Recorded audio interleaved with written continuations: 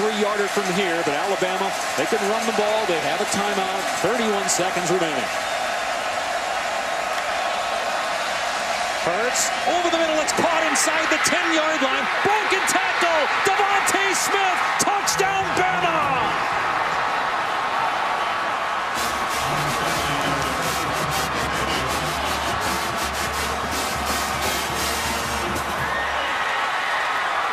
They go to a true freshman for the go-ahead score with 25 seconds remaining.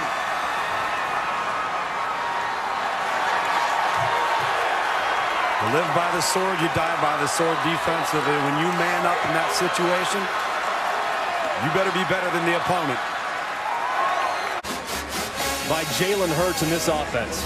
Blitz right in his face. McLaurin off the edge.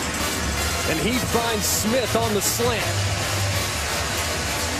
And DeVonta Smith, one of the most sure-handed receivers on the team as a true freshman, catches it in stride and splits the defense for the touchdown. Mr. and Mrs. Hurts are loving it.